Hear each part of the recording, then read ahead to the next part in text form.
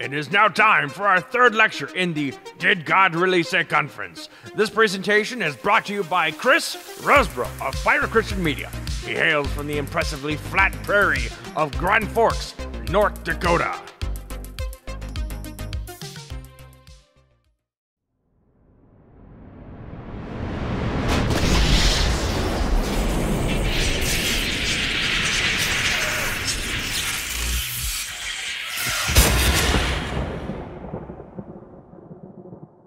I'd like to thank the uh, organizers of the Did God Really Say conference for inviting me. My name is Chris Rosebrough. I host the uh, YouTube channel Fighting for the Faith. And today I'm going to be speaking on the topic of the slanderous injustice of CRT and social justice. Seems like a weird thing to say, right? I mean, isn't social justice all about justice? No, it's not. And you'll see this as soon as we start applying some basic biblical concepts, and I mean basic. The major problem within uh, the Christian church today is an alarming rate of, well, biblical illiteracy. So, if you would, I, I know what I'm going to say today is going to end up relying heavily upon the basics of a biblical and Christian worldview.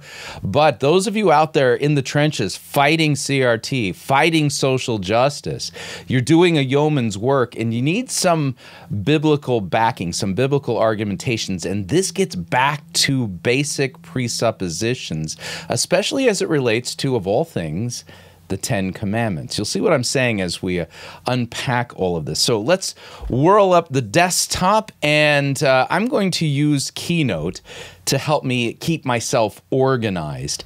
And so we're going to begin with a, uh, a, a, personal anecdotal story. Yeah, going back to when I was at uh, Christ College Irvine, uh, also known as uh, Concordia University Irvine, when I was a young man, I did something kind of foolish. Let me explain.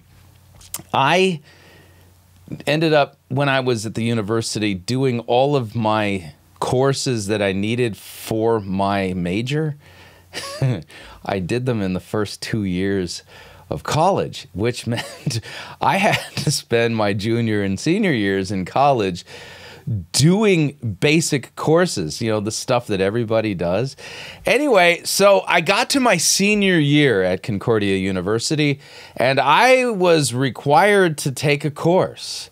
Uh, I, I, was required to take a course on, well, you know, kind of social problems, kind of, kind of a generic thing. And so this particular course, because it was just, you know, your basic course, you know, that was required that for everybody to take, uh, the, uh, the, the professor who taught it, she was a rent-a-prof. They, they rented her from uh, Cal State University, Long Beach, and she was openly in this Christian university. She was openly an avowed communist. She was an absolute card carrying Marxist, and she didn't have any problem telling that to people.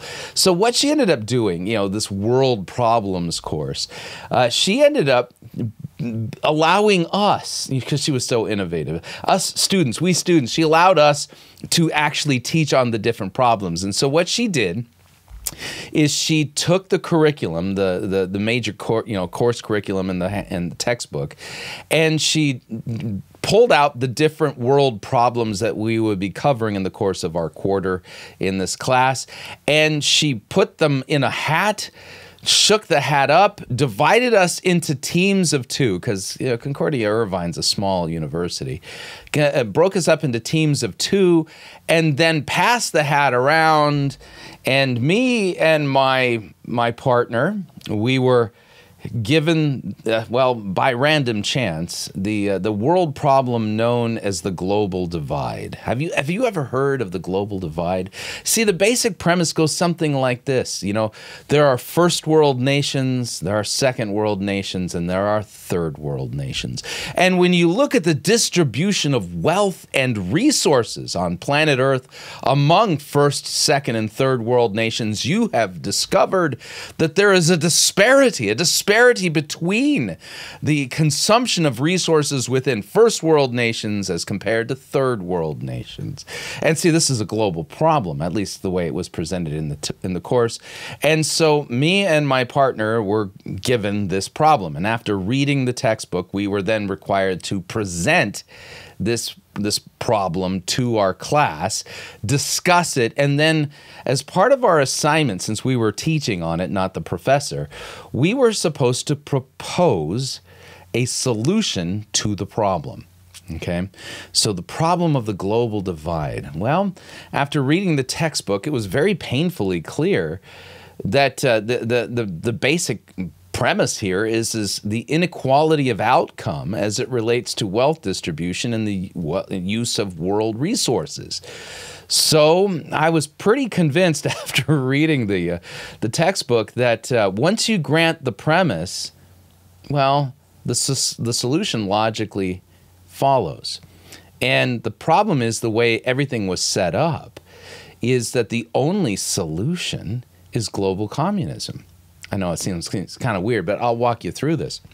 So I told my uh, my partner, I said to her, I said, you know, I think what we should probably do is do this. I think we should just go with it, and that we should.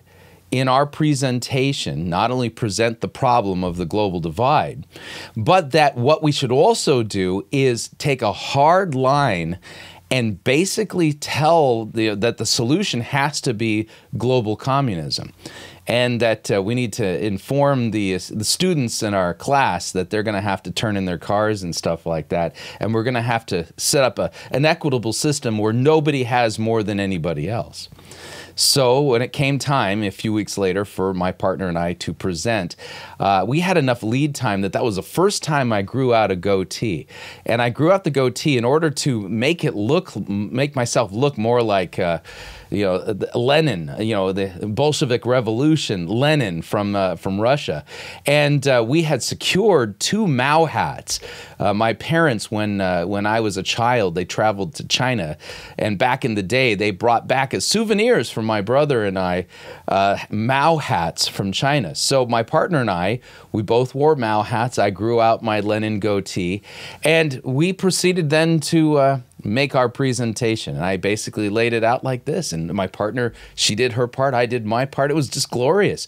You basically said, here's the problem. The, the, the, first world nations are consuming and using global resources at a rate that isn't even close to the same as people in third world nations. Third world nations, people who live there, they don't have access to the same resources, to the same money, to the same finances as we do in the first world. And this is unfair. And so we are proposing as the solution to the global disparity that is taking place, this uh, unequal outcome, if you would, globally. Uh, we are proposing that a central communist agency be established immediately that the U.S. Constitution be wiped out, and that all of you students here at Concordia University, Irvine, if you drive a car, you're going to need to turn it in. And if you have more than two sets of clothes, you're going to need to turn those in. And everybody in the class will be assigned, given a bicycle, a bag of rice, a menial desk job, and. Uh, and uh, two sets of clothes. That's it. And that way, because I mean, we can't, we can't it's impossible for us to distribute and redistribute wealth equitably where everybody would be wealthy, but we can uh, redistribute poverty equally. That's the one thing we're capable of doing. And and when it came time for class discussion on this, oh, let's just say that the discussion was quite heated. Are you? What are you saying? Are you you saying that we're, it's? And I basically looked them all in the face and said, "It's unfair. It's unfair that you have more, that you have a car, that you're going to college. It's unfair. People who live in other countries, they don't have access to these resources. They don't have cars. They walk. They don't even have access to to uh, to plumbing. They have to travel to get uh, clean water. So, you know, it's not fair that you have these things. You're going to have to hand them over, and we're going to er, perfectly redistribute poverty to everybody. And here's the thing none of the students were capable of out arguing me. And there's a simple reason why, and I'll explain it here. I already said it, but I'll explain it. So if we open up our desktop, here's the thing. Once you grant the premise, the conclusion automatically follows. Once you grant the premise that there's some kind of a sin or immorality that has taken place as a result of unequal outcomes, some people have more money than other people, well, and some people use more resources than other people. Once you grant the premise that this is somehow morally reprehensible and wrong, the conclusion automatically follows. We must set up a system where nobody has more than anybody else period, regardless of where they live. And the only solution is Marxism. And at the end of the class, I looked everybody in the face and I told them straight out the reason why you couldn't out argue me is because you didn't see the trap in the logic. Once you grant the premise, the conclusion automatically follows. And that's the problem with CRT and so called social justice. This is just to set the frame. So, we're going to we're going to watch uh, part of a video from Robin DiAngelo, and this was a uh, this is a video you can find it on YouTube called "Deconstructing White Privilege" with Dr. Robin DiAngelo, and this is put out by the General Commission on Religion and Race of the United Methodist Church. So this is a this is a church issue now. This is not politics. This is something very different. And we're going to biblically and using just sound logic take apart what she is saying. Now, this is going to require us to do this, like I said, fighting for the faith style. And we're going to listen carefully to what she says and how she says it. And we're going to show you how this is totally contrary to the Ten Commandments, especially the commandment that says, Thou shalt not bear false witness against your neighbor.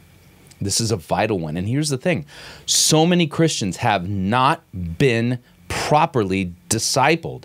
They do not know their Ten Commandments. They do not understand what they mean. And the Ten Commandments, you you're going to need to become an expert on them immediately the best way I can put it, because real justice is based upon real morals and sound ethics.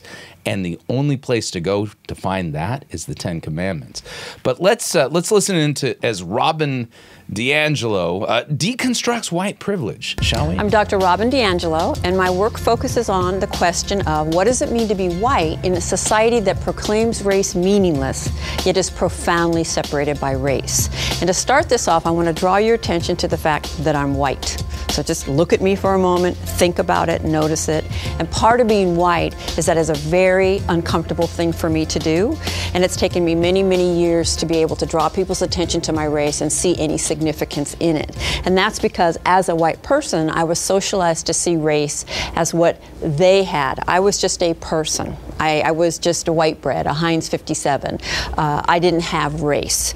I was socialized to see race as individual acts of discrimination and prejudice. Now, this is the part where we have to pay close attention to what she is saying. And I mean close. I was, quote, socialized to see racism as individual acts of discrimination and prejudice. You know, individuals breaking the commandment, thou shalt not murder. Now, the reason I say that, by the way, in in fact, let's kind of do this. Let's kind of get this out on the text, out, out on the on the table. All right, uh, Exodus twenty thirteen. You shall not murder. Absolutely forbidden by God. You shall not murder. That being the case, it's important for us to recognize how Christ uses this text. Uh, Christ says this You have heard that it was said to those of old, you shall not murder, and whoever murders will be liable to judgment. But I say to you that everyone who is angry with his brother will be liable to judgment. Whoever insults his brother will be liable to the council. Whoever says, You fool, will be liable to the hell of fire. So if you are offering your gift at the altar and there remember that your brother has something against you, leave your gift there before the altar and go. First be reconciled to your brother and then come and offer your gift. Come to terms quickly with your accuser while you're going with him to court, lest your accuser hand you over to the judge and the judge to the guard and you be put in prison. Truly I say to you, you will never get out until you have paid the last penny. So the commandment thou shalt not murder, not only forbids us from putting a knife in the back of somebody and then burying their body in the desert, the commandment, thou shalt not murder, also requires us to love our neighbor. In fact, Jesus makes it clear that all of the law and all of the commandments hang on two love the Lord your God with all your heart, soul, mind, and strength, and love your neighbor as yourself. So, loving neighbor, the keeping of this commandment against murder requires us to not hate other people and to act in their regard to help them protect the things that are necessary for their body and their life and to protect their lives themselves. In fact, putting it another way, First John says this whoever hates his brother is in the darkness and walks in the darkness and does not know where he is going because the darkness has blinded his eyes. In other words, true racism, which is hatred of other people, other human beings whom God has created, it's a breaking of this commandment. 1 John 4 says this Beloved, let us love one another. Love is from God. Whoever loves has been born of God and knows God. Anyone who does not love does not know God because God is love. And so you'll note in dealing with evil as it relates to true racism, she said, quote, I was socialized to see racism as individual acts of discrimination and prejudice. Well, it is. Just like hating somebody is an individual act of hatred, you know, and murder, right? And you know, so you, you we got a problem here. We got a big problem because what she is doing is deconstructing the real definition of real sin and real evil in order to replace it with a definition that is contrary to scripture and ends up by default and just flat out breaking the commandment that says, Thou shalt not bear false witness against your neighbor. I'll explain. So let me back this up. Listen to the important Just a white words. bread, a Heinz 57. Uh, I didn't have race. I was socialized to see race as individual acts of discrimination and prejudice, individual acts that anybody could do to anybody else. And Yeah, the, the way Jesus in the Bible describes things, yeah. and if you did those acts, you were a bad person. Now, I'm going to make an aside here. If you did these acts, you were a bad person. You'll note she's teaching a group of United Methodist people on a United Methodist channel. Scripture doesn't teach that you are a bad person because you do bad things. Scripture teaches that each and every one of us is was born conceived dead in trespasses and sins. We are born with the condition of sin. The reason we sin is because we are sinners not you know committing a sin doesn't make you a sinner. No no no. You sinned because you are a sinner. So note her worldview is completely backwards. I'm a good person unless i do bad things. Wrong. Scripture teaches that each and every one of us are guilty before god and, and have an inherited sinful nature that we got from adam and eve. We sin because we are sinners. So note that this worldview that she's putting forward contrary to scripture. You see you know committing acts of racism do, doesn't make you a bad person. You're a bad person. Therefore, you may be guilty, and I notice I said may, you may be guilty of committing acts of racism. That's the difference. So back this acts up. of discrimination and prejudice, individual acts that anybody could do to anybody else, and if you did those acts, you were a bad person. And that is why, since I saw myself as a good person, I didn't see myself as connected to racism. And there's your problem. None of us is good. None is good. No, not one. No one seeks God. See Romans chapter 3. uh, and certainly didn't see myself as connected to race. In other words, I didn't have a sense of a racial identity. Today, I understand that I move through the world always and most particularly as a white person. I have a white frame of reference and I have a white experience. And part of being white is to have that be invisible to us and to be able to live our lives without ever acknowledging that, to see that as non operative. I now So note, she's now hinting at this idea, and she'll develop it further, that that white people are racist, all of them, and they are, for the most part, completely oblivious to it. Hmm. understand racism as a system, Okay, now I'm going to back this up. Listen again how she's going to define racism. Non operative. I now understand racism as a system, as a deeply embedded system, a system that our country was founded on and that all our institutions were created out of. And every institution reinforces this system. Okay, I'm going to read the quote again. Here's her definition, and this is a direct quote Racism is a system, a deeply embedded system a system that our country was founded on and that all of our institutions were created out of, and every institution reinforces this system. That's a direct quote. In fact, let's do this. Let's pull this up. And here's the quote so that you can see it again. Let's deconstruct this. Racism is a system, she says, a deeply embedded system, a system that our country was founded on that all of our institutions were created out of, and every eh, institution reinforces this system. So remember what I said. Once you grant the premise, the conclusion automatically follows. And here's where you can see and smell the rat.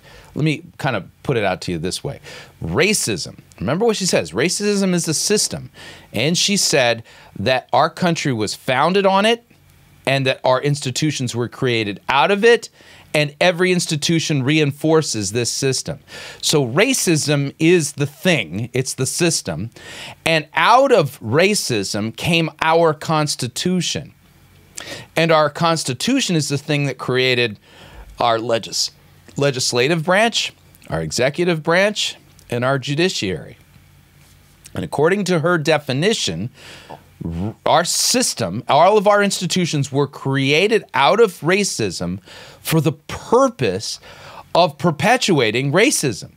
So, racism created the Constitution, which created these three branches of government, which were created for the purpose of perpetuating racism. Listen to the quote again Racism is a system, a deeply embedded system, a system our country was founded on, and that all of our institutions were created out of, and every institution reinforces this system.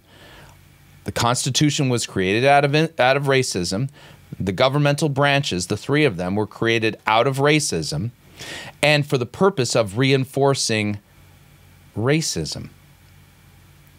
Well, let's kind of see if that makes any sense. Could you imagine, you know, the founding fathers, you know, a conversation kind of going something like this at the Independence Hall there in Philadelphia? Racism is the best thing ever.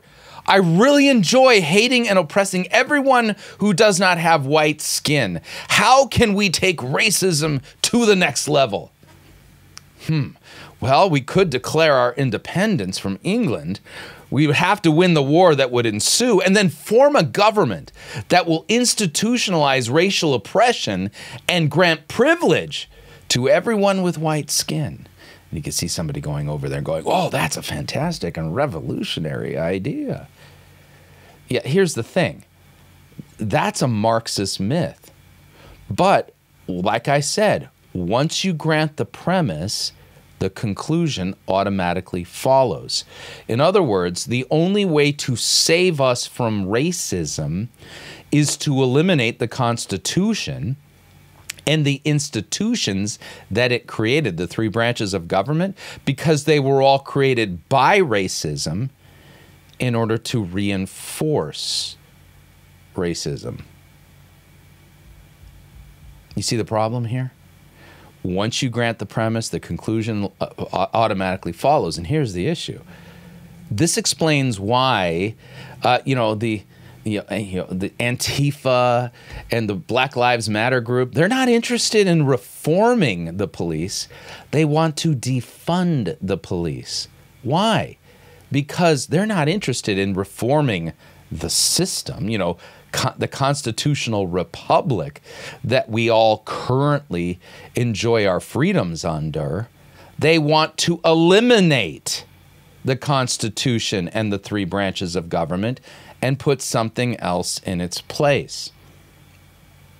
Because once you grant the premise, the conclusion automatically follows.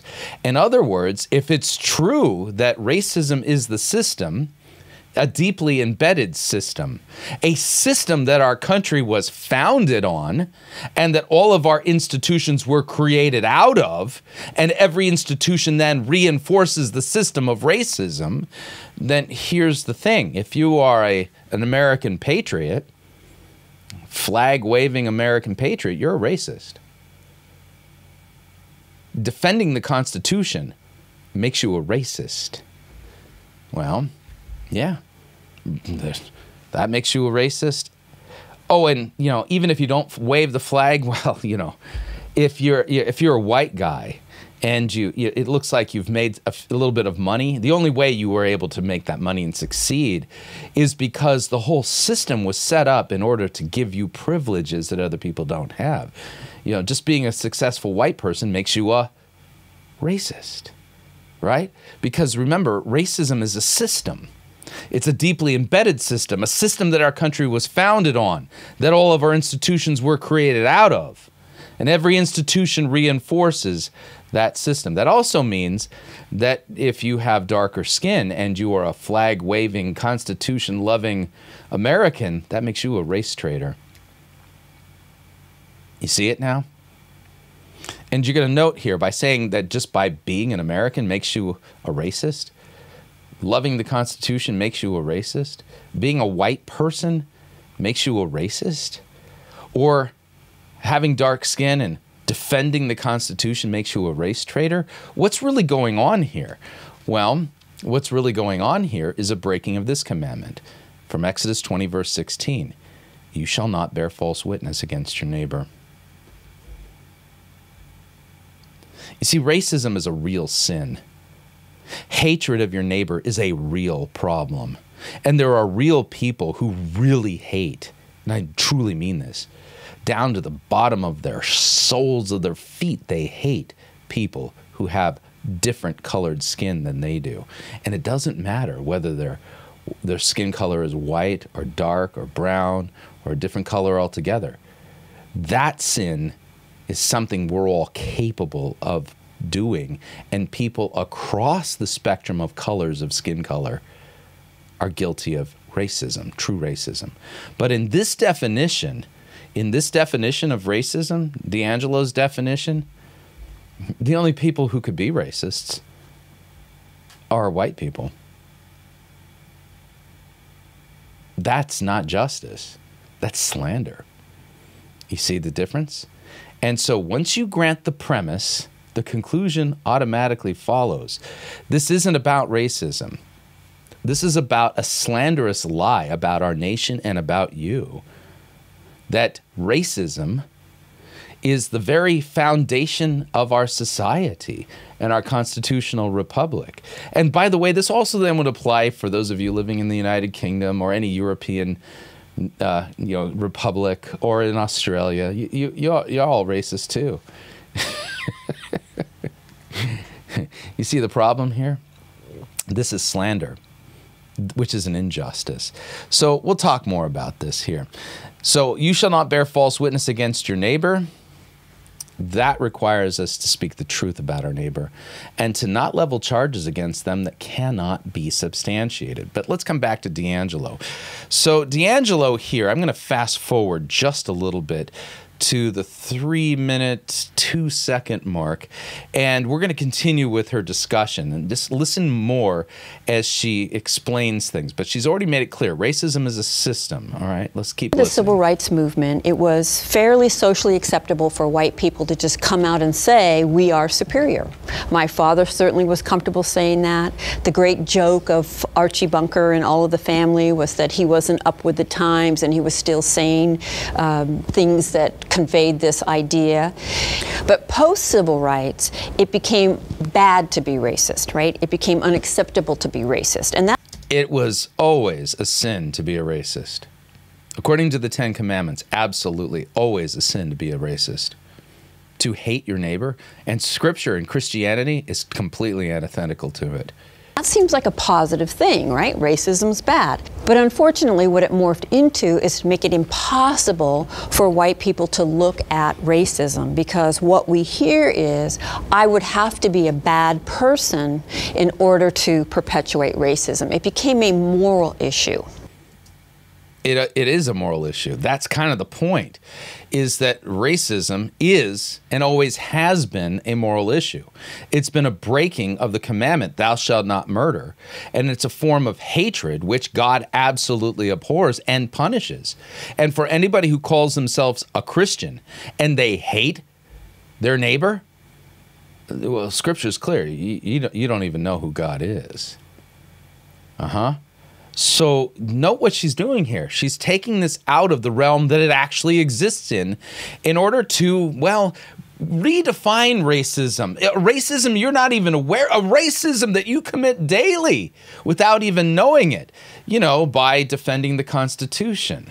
Mm-hmm. That's really where this goes. We continue.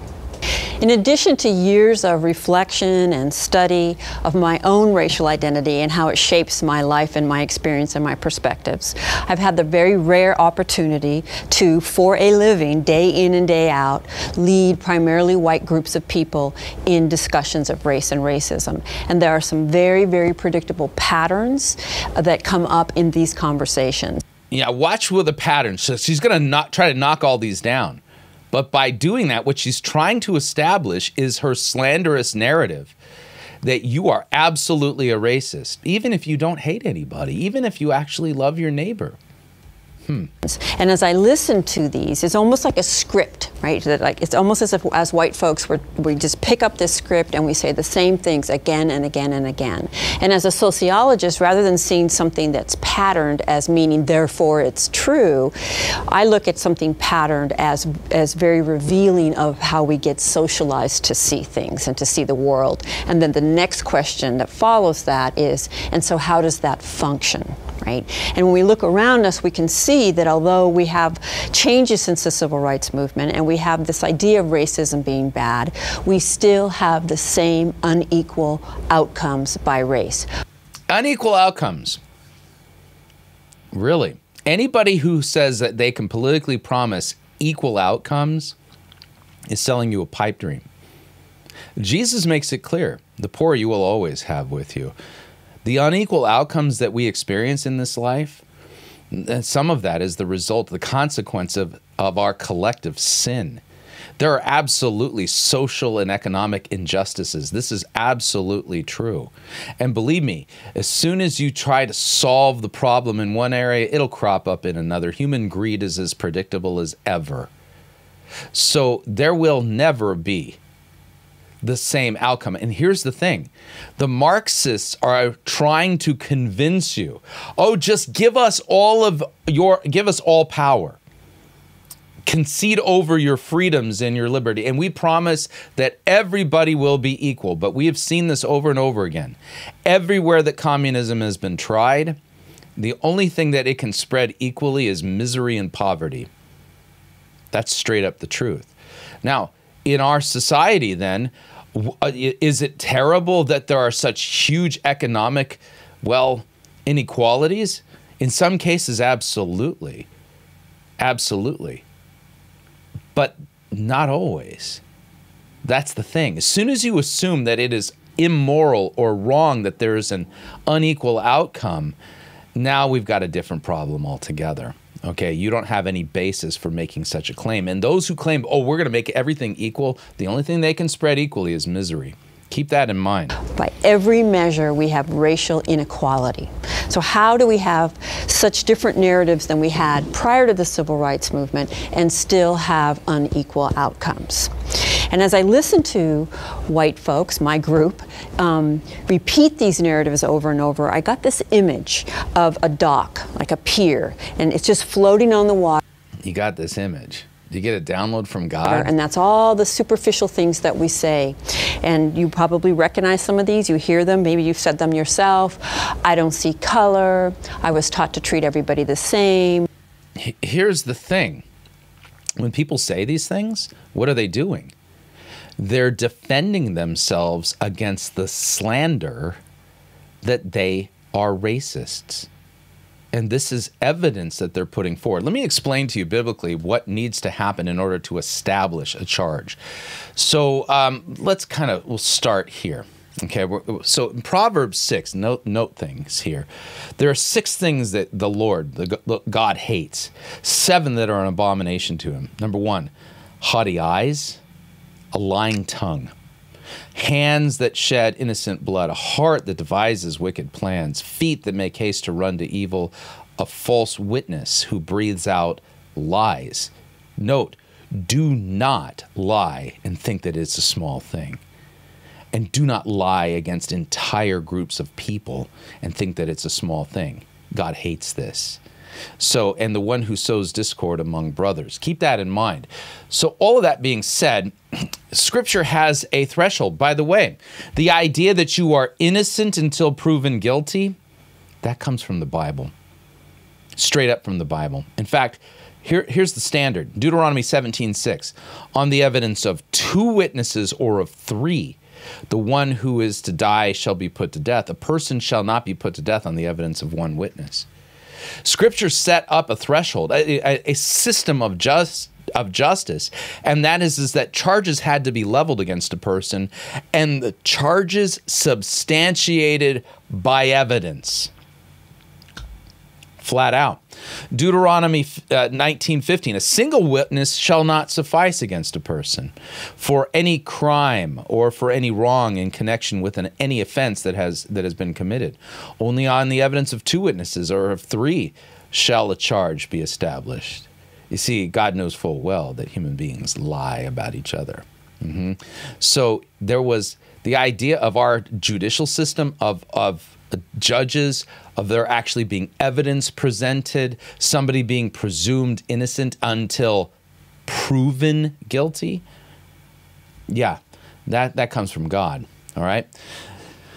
So, um, and then notice when it comes to, you know, even church discipline, you know if if he doesn't listen to the person who is brought you know who has said you need to repent take one or two others along with you so that every charge may be established by the evidence of two or three witnesses.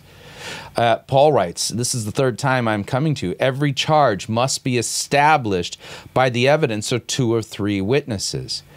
Um, 1 timothy 5.19 i'm a pastor. Do not admit a charge against an elder a pastor except on the evidence of two or three witnesses uh huh.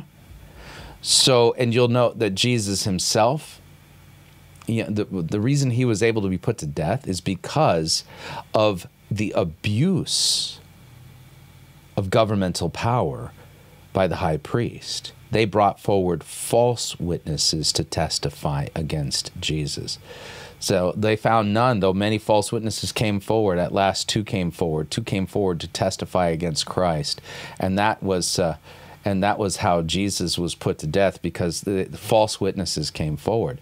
Now, here's the thing the systems are set up, no system is perfect. People are capable of manipulating and abusing systems. But the abuse of a system is not the same as saying that the system itself was set up for the purpose of oppressing people. In fact, I'm going to note something here. Using the biblical standard that's required, let me come back to uh, DiAngelo's definition. Racism is a system, a deeply embedded system, a system that our country was founded on, that our institutions were created out of, and every institution reinforces this system. Notice here, what she has done is she has slandered, and I mean it, she has borne false witness against the founders of the nation of the United States. Because my question is, uh, well, if racism is a system that our whole system was that our, that our constitution was founded on racism, where's the evidence for that? What witnesses can you bring forward that will substantiate and prove this claim, this allegation that you've brought forward? That the United States was founded on racism and that the institutions of our government, the three branches of government, were created out of racism for the purpose of reinforcing racism. You see, scripture is clear that when it comes to establishing a charge, you actually need to bring witnesses forward. But note that DiAngelo, what she is doing here is she's playing the role of a gossip. That's what she's become. She's a she's a busybody. She has well arrogated to herself authority to be judge of the United States and of all white people. And you'll note that in her presentation, oh, this is behavior that I see. Every time we talk about institutionalized racism, people predictably say things like, I was taught to treat everyone the same. I see people as individuals. Racism is in the past. You see, what are they doing? They're pro- providing evidence to do what? To prove their innocence. But here's the thing our system and the system that God set up when it comes to justice does not require us to prove our innocence. They have to prove our guilt. This is all backwards but their natural inclination is to go to evidence and she's going to demean that she's going to demean it but before we get to her I, I, I before we come back I would like to, you to consider the words of Martin Luther, the reformer Martin Luther. In the Large Catechism, Martin Luther provides a series of sermons on the Ten Commandments, and they are fantastic. They're absolutely fantastic sermons to help us understand God's law and what real justice is, and how by breaking these commandments we commit injustices against each other. But when it comes to this commandment, you shall bear false not bear false witness against your neighbor, I want you to hear the words of Luther from his sermon uh, against the, you know against slander. Here's what he says: Besides our own body, our wife or our husband, and our temporal property, we have one more treasure which is indispensable to us, namely our honor and our good name. For it is intolerable to live among men in public disgrace and contempt. And I would note this that CRT and social justice is is slanderously saying that all white people just by virtue of being white and anybody any flag waving patriot in the United States they are a racist and the whole system is a racist system devi- devised to oppress people. That what they have done is take away the good name and honor of people who've committed no such sins or crimes. And there has been they have been accused and found guilty without any evidence whatsoever. And so they've taken away the good name of many millions of people. And this is a sin. Therefore, God will not have our neighbor, neighbor deprived of his reputation or honor and character any more than of his money and his possessions. He would have every man maintain his self respect before his wife, his children, his servants, and his neighbors. It is first and simplest meaning. So, when, thou shalt not bear false witness against your neighbor, in its first and simplest meaning, as the words stand, you shall not bear false witness. This commandment pertains to public courts of justice, where a poor innocent man is accused and maligned by false witnesses and consequently punished in his body or property uh, or honor. This problem appears to concern us only a little at present, but among the Jews it was extremely common. That nation had an excellent, orderly government, and even now, where there is such a government, instances of this sin still occur. The reason is this where judges, mayors, princes, or others in authority sit in judgment, we always find that true to the usual course of the world, men are loath to offend anyone. Instead, they speak dishonestly with an eye to gaining favor, money, prospects, or friendships. Consequently, consequently, a poor man is inevitably oppressed, loses his case, and then suffers punishment. And it, it is the universal misfortune of the world that men of integrity seldom preside in courts of justice. A judge ought to, above all, be a man of integrity and not only upright, but also a wise, sagacious, brave, and fearless man. Likewise, a witness should be fearless. More than that, he should be an upright man. He who is to administer justice equitably in all cases will often offend good friends, relatives, neighbors, and the rich and the powerful who are in a position to help or to harm him. He must therefore be quite blind, shutting his eyes and his ears to everything but the evidence presented and make his decision accordingly. Okay? The first application of this commandment, then, is that everyone should help his neighbor maintain his rights. He must not allow these rights to be thwarted or distorted, but should promote and resolutely guard them, whether he be judge or witness. Let the consequences be what they may. Here we have a goal set for our jurists perfect justice. That's the goal in our, in our uh, judicial system, by the way perfect justice and equity in every case. They should let right remain right, not perverting or concealing or suppressing anything on account of anyone's money, property, honor, or power. You don't show preference to the poor, you don't show preference to the rich, right? This is one aspect of the commandment and its plainest meaning applying to all that takes place in court. Next, next understanding of thou shalt not bear false witness against your neighbor. Next, it extends much further when it is applied to spiritual jurisdiction and administration. Here, too, Everyone bears false witness against his neighbor. Wherever there are godly preachers and Christians, they must endure having the world call them heretics, apostates, even seditious and accursed scoundrels. Moreover, the word of God must undergo the most shameful and spiteful persecution and blasphemy. It is contradicted, perverted, misused, and misinterpreted. But let this pass. It is the blind world's nature to condemn and persecute the truth and the children of God, and yet consider this to be no sin. The third aspect of this commandment, and here's the part that really we need to focus in on in this discussion. The third aspect of this commandment concerns us all. It forbids all sin, sins of the tongue, by which we may injure or offend our neighbor. False witness is a is clearly a work of the tongue. Whatever is done with the tongue against a neighbor, then, is forbidden by God. This applies to false preachers with their corrupt teaching and blasphemy, to false judges and witnesses with their corrupt behavior in court, and their lying and malicious talk outside of court.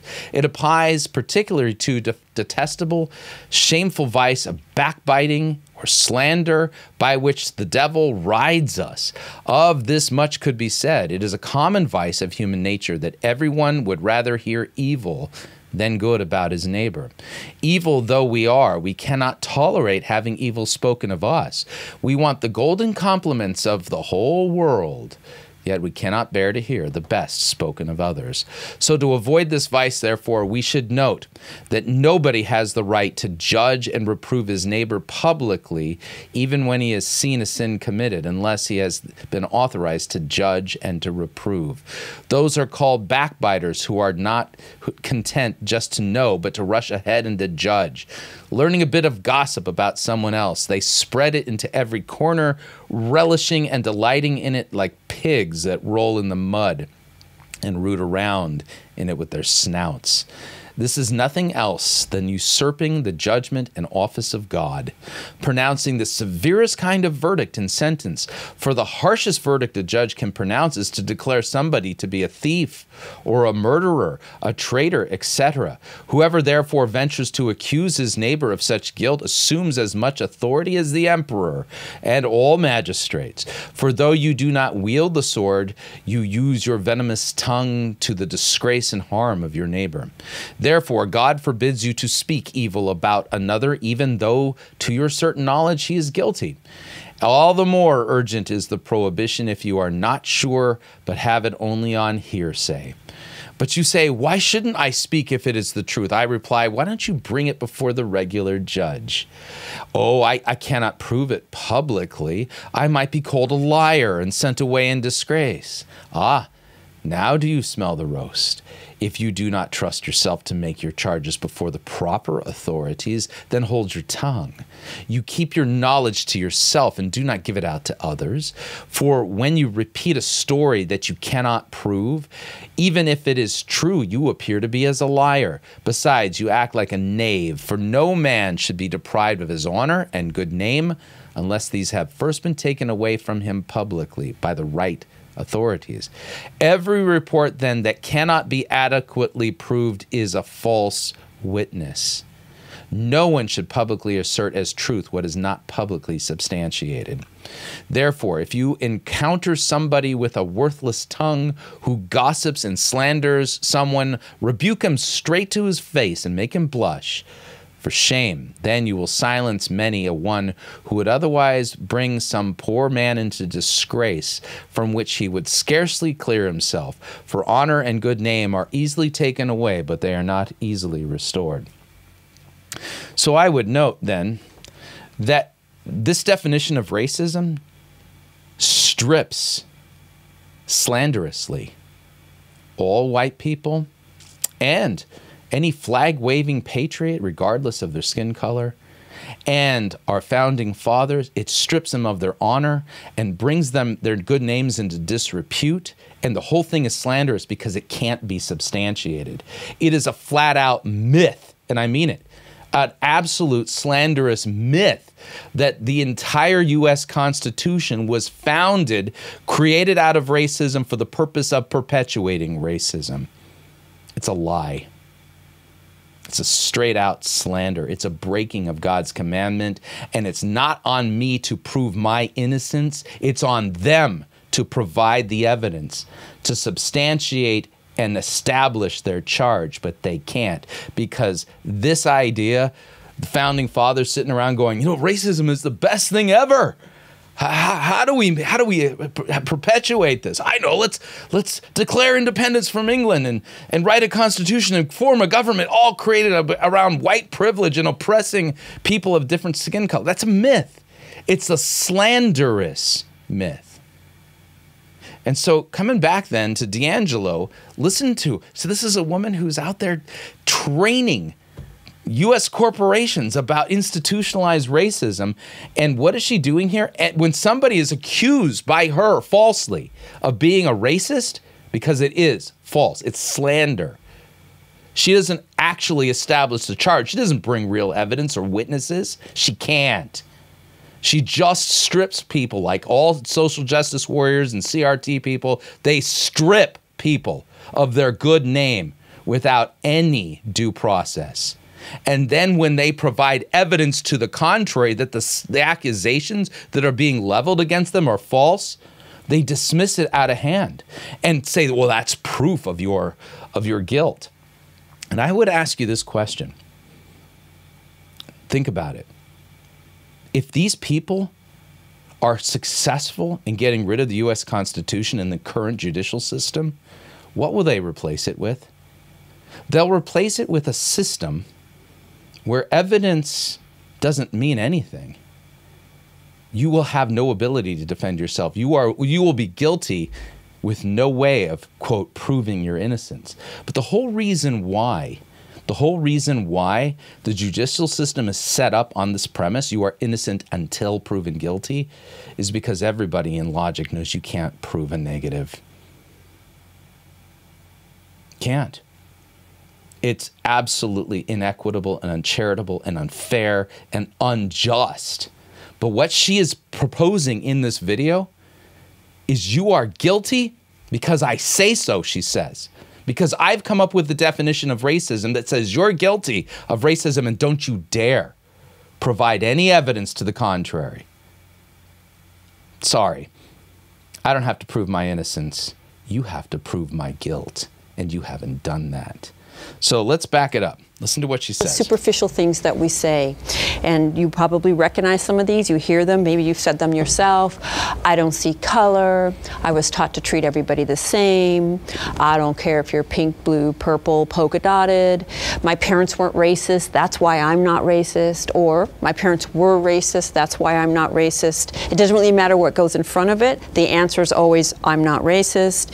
I know people of color. I used to work. Uh, I don't have to prove I'm not a racist. You have to prove I am. You have to establish your charge with actual witnesses. Good luck on that. Uh, in the military, all of the things we say to rationalize um, that we ourselves are not complicit in this system. Now, I want to speak to two you haven't established the fact that the system itself was actually created for the purpose of perpetuating racism. That's an allegation you have not substantiated. Two of these before I kind of take us below the surface of the dock. And one is this idea that our parents taught us to treat everyone the same. And I am just going to put it out there like this no, they didn't. That is not humanly possible. Human beings are not objective. You cannot be taught to treat or to see everyone the same. Really? Can you prove it? I'd like you to prove it. Because that's exactly what we Gen Xers were taught to do. And let, let, me explain. I didn't grow up during the time of segregation. I grew up in the aftermath of it. I grew up in the 1970s in Los Angeles during the time when they were busing people for desegregation purposes to help those people whose families were stuck in bad school systems and to give them the ability to get a good education. I, my stepfather, the man who raised me, yeah, he grew up in Memphis in South during racial segregation.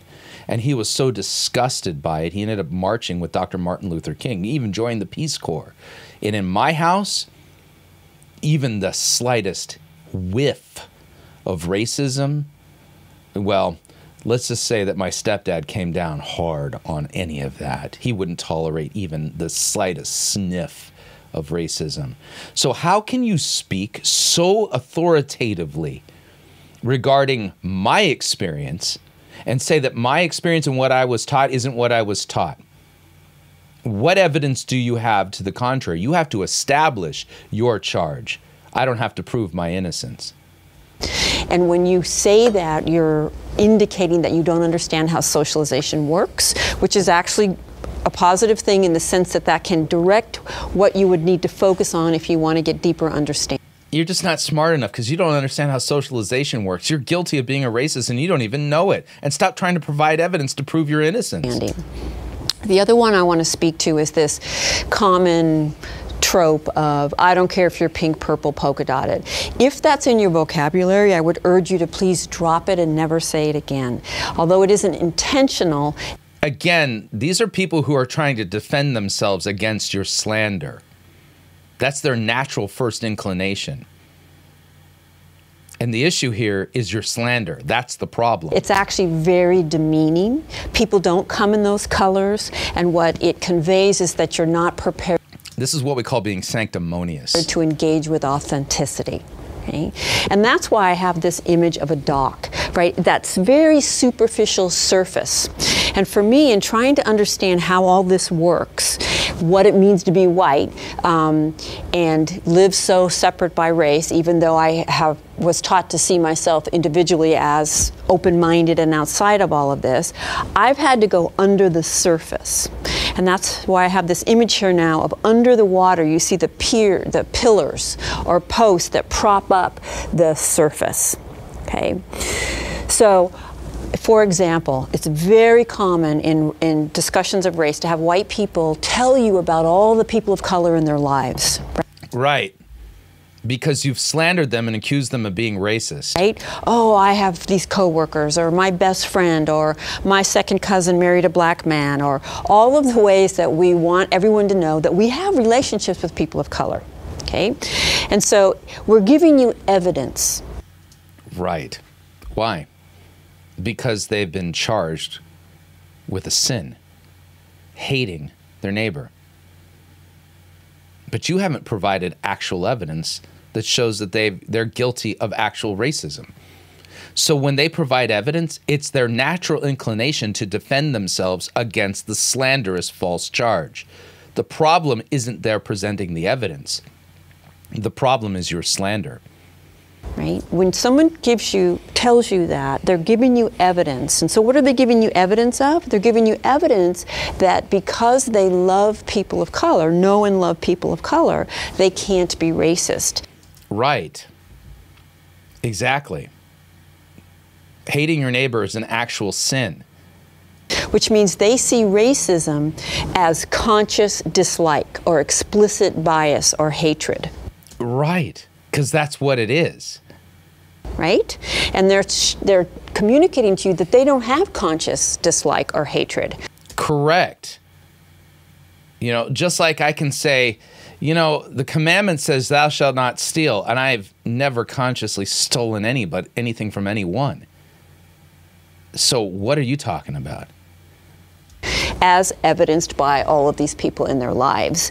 And what we don't understand is the power of implicit bias. Most bias is unconscious. So you, you, you actually hate people who have different skin color than you. You just don't know it. You see, consciously, you think you love them. Consciously, you have no problem hanging out with them. But unconsciously, you actually hate them. You see what this is what this is here? This is magic. She is literally arguing that you are a racist, you just don't know it. You are racist despite the fact that everything in your life says the contrary. You, you just don't know it because you, you, you, you're, you're unaware of it. But she is. She, she is aware of it. How, she can't prove this. The, in order to establish a charge, you have to establish it with two or more witnesses. What evidence do you have? aside from this magic theory of yours that they, that people are unconsciously uh, racist, despite the fact that all of their actions say otherwise. What evidence can you provide to prove that they actually secretly, subconsciously, actually hate everybody? That it doesn't have the same skin color they do? Power of implicit bias. Most bias is unconscious. And that makes it very, very dangerous because it drives our behaviors, but we're not aware of it. Yes, it's wonderful to have people of color in your life if you're white. Many, many, many people, white people, don't have people of color in close relationships. Mm-hmm. You see what I'm saying here? The issue here is the flagrant breaking of God's commandments. You shall not bear false witness against your neighbor, and you have created a system, an entire theory regarding racism that makes people racist without them actually having any conscious hatred. In fact, the opposite in their life of people who have a different skin color than they do. And you've also lied about the history of the United States, claiming that the United States, the entire system, was created by racism, racism for the purpose of perpetuating racism. So, to kind of wrap this up, it's really simple. When you know the your 10 commandments, you know what God's law really says, then you don't have to defend yourself against these false charges, and you can say that. So when somebody accuses you, well, you're a white person, you, you, you're a racist, you basically say to them, Scripture says, you shall not bear false witness against your neighbor. In order to establish a charge, you need two or more witnesses. Provide your evidence to prove that I'm a racist. Good luck. It ain't going to happen because it's a myth. It's a slanderous lie. It's not true. This isn't justice. This is injustice. And I hope you found this helpful. Thank you for your time.